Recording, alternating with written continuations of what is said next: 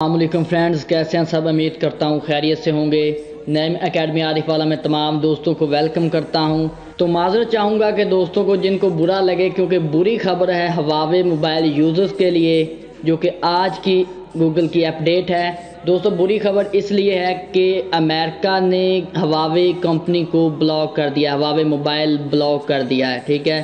U S A میں، کیونکہ U S A میں سب سے زیادہ ففٹی فیصد تک ہواوے کا موبائل فون اتنا زیادہ سیل ہوا کہ وہاں پہ آئی فون کا بڑا نقصان ہوا۔ صرف اور صرف بیس فیصد تک آئی فون سیل ہو سکا۔ اور جو ہواوے ہے، انہوں نے اپنا بہت زیادہ موبائل فون سیل کیا، کیونکہ ہواوے کی ظاہری بات ہے پرائزز بھی لو ہیں۔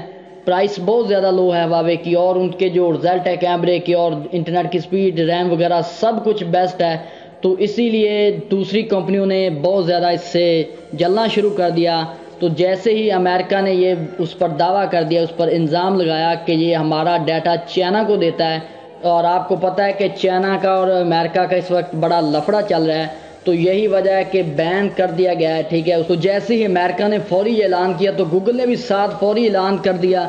کہ ہم بھی تمام اپنی اس پر update security update اور ورسا مسینجر فیس بک سب کچھ بین کر رہے ہیں اور پلے سٹور بھی بین کر رہے ہیں۔ تو اس کی وجہ سے ہواوی کو بہت بڑا دھچکا لگا ہے۔ تو پریشان نہیں ہونا جن کے پاس ہواوی کے موبائل فون ہیں، کیونکہ ہواوی اپنا I S O operating system ready کر رہا ہے اور انشاءاللہ چند ہی ماہ میں وہ مارکیٹ میں اناؤنس کر دے گا کیونکہ اتنی بڑی کمپنی ہے وہ لاس نہیں ہونے دے گی، نہ کہ آپ کا، نہ اپنا۔ تو پلیز پریشان نہیں ہونا آپ نے، بلکہ ہمت رکھنی اور ہواوے کا ساتھ دینا ہے۔ تو انشاءاللہ کہ جیسے ہی کوئی اس کی اور اپڈیٹ آتی ہے وہ بھی میں آپ سے شیئر کروں گا، لیکن جیسی نیوز آئی ہے، ویسے میں نے آپ سے شیئر کر دیا ہے۔ تو ہواوے کو بڑا نقصان ہوا۔ ظاہری بات آپ خود دیکھیں کہ پاکستان میں بھی ہواوے موبائل فون کتنا سیل ہوا ہے۔ صبح انشاءاللہ میں اس پر مزید ویڈیوز بناؤں گا اس ڈیٹیل کے ساتھ۔ تو کیا اس پر عمل کیا گیا ہے؟ تو انشاءاللہ ملیں گے ایک جلد نیو ویڈیو کے ساتھ۔ اس ویڈیو کو لائک اور شیئر کر دیجیے گا۔ Thanks for watching